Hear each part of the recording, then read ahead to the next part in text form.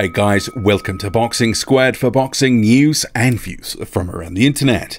We're almost a week removed from Andy Ruiz Jr.'s stunning upset over Anthony Joshua, claiming three major titles in the process, and I highlight three there. The IBO is not a major title, even though a number of people keep trying to convince me that it is. But Ruiz Jr., a stunning upset, and the news continues to flow thick and fast through the media, social media, from the newsmakers themselves, and also division rivals, promoters. It's all over the place.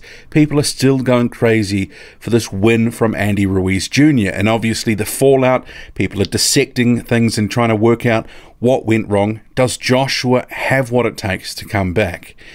And I'm not going to try to cover all the developments that are floating around in the ether at the moment because it's just too much. And we're almost a week removed from the fight, and some of it becomes a little bit of a drag after a while because, you know, how many times can you go over the same things? But talking about a rematch, and we're going to get into this first, Manny Robles' comments, that's Andy Ruiz Jr.'s trainer, and then on to a few other things. So buckle in. Let's go. But the rematch, Andy Ruiz Jr.'s trainer, Manny Robles, says you have to prepare for the best without overconfidence.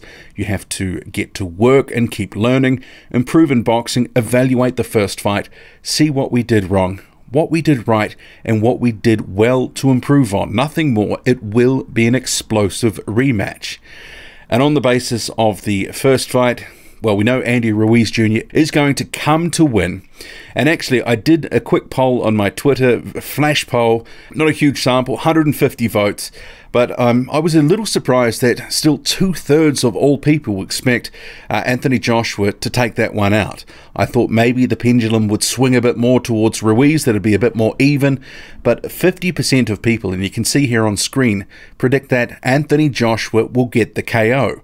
And then obviously another chunk of people think he'll get a decision. Only 3% going for Andy Ruiz by decision. 29% believe he could get the KO in the fight. Interesting indeed. But um, Robles is right.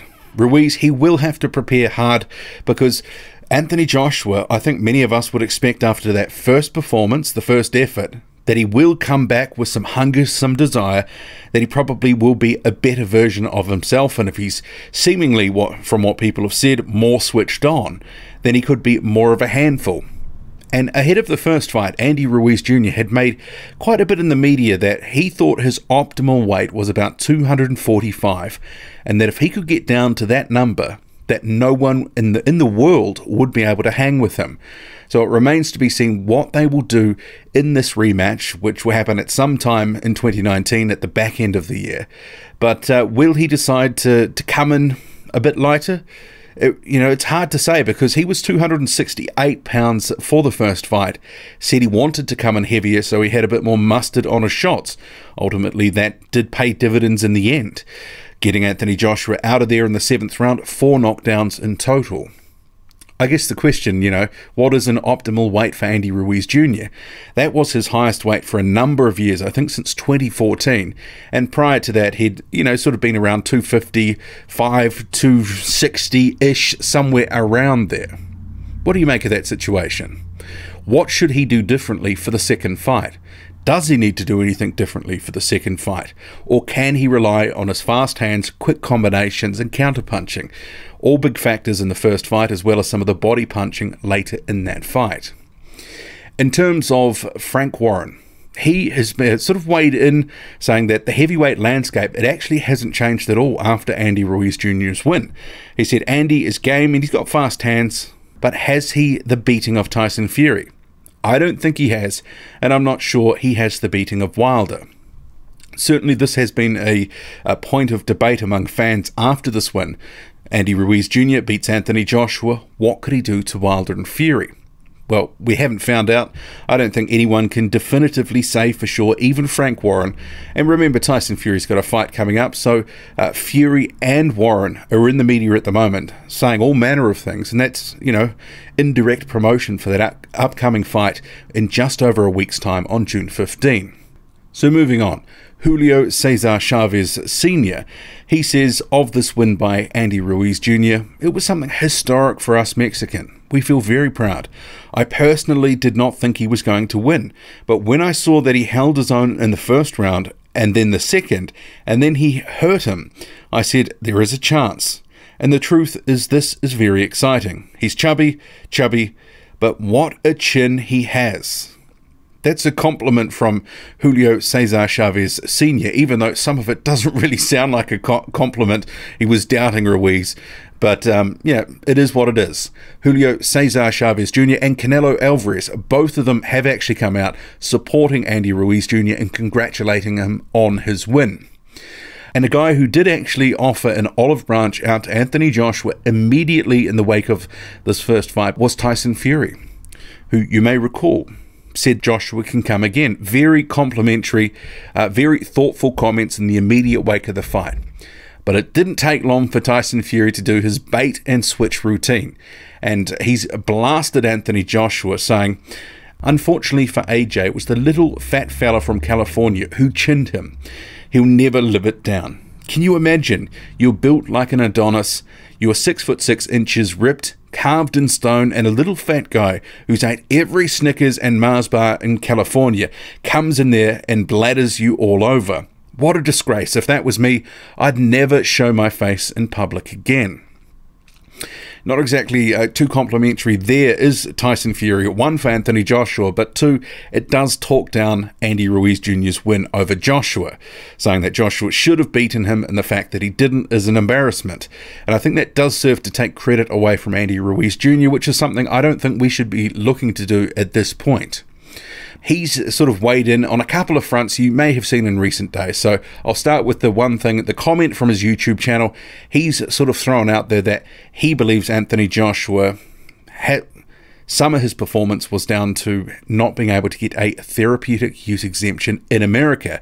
He says it's because you're in America, the VADA, uh, Voluntary Anti Doping Agency, testing, and you're not on the juice. That's why. It's harder to get therapeutic use exemptions in America than the UK. That's why.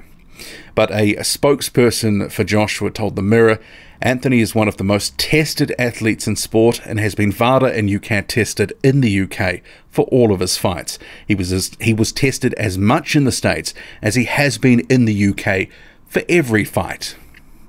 And in a column that White has penned for Talksport, he makes a number of comments about this uh, fight, and you may have seen some of those similar sort of sentiment on his uh, YouTube video delving into the issue of the performance by Joshua, and he does dissect it in depth.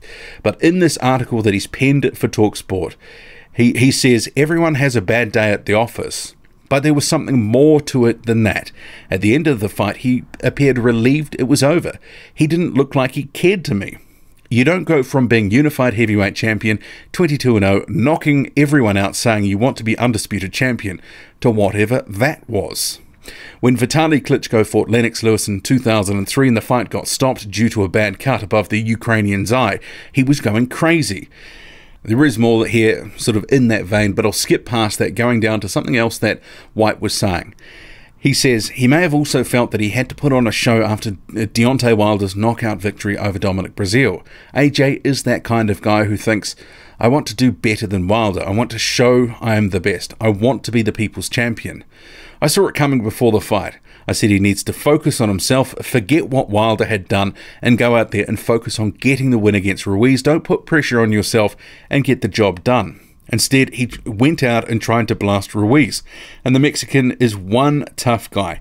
He's one of those fighters who, the more you hit him, the more he gets into it because he's got nothing to lose. And he also wades in on whether Joshua should change trainer, saying, It's nothing to do with Rob McCracken. I know Rob. He's a good coach. He's one of the last of the old school coaches. He's been an AJ he's been AJ's coach for a long time, and he got Carl Froch through some difficult fights. It's nothing to do with the coach, it's nothing to do with his promoter Eddie Hearn. It was purely down to Joshua. And it was down to Joshua. He just wasn't good enough on the night. For whatever reason, if even if there was anything heading into the fight, um, Andy Ruiz Jr. got the job done. And we should now start looking towards the uh, the rematch. Uh, some of the, the storylines with that is going to be epic. I mean, where's it going to be? It's going to be a pretty massive fight. And I know there's been some conspiracy theorists who believe that Joshua threw the fight And I can't get on board with that at all. I just think that's a silly narrative. Uh, some people are saying it was done for money or whatever. I mean, I can't get on board with that. That just doesn't seem credible to me at all. To you know go down with one of the biggest upset losses in history and have that on your resume, and you know to deliberately throw a fight. I mean, that's a really that's quite a hard sort of claim to believe and stomach. I just don't think it would happen. And that really does take credit away from Ruiz, and he deserves all the plaudits that he's getting.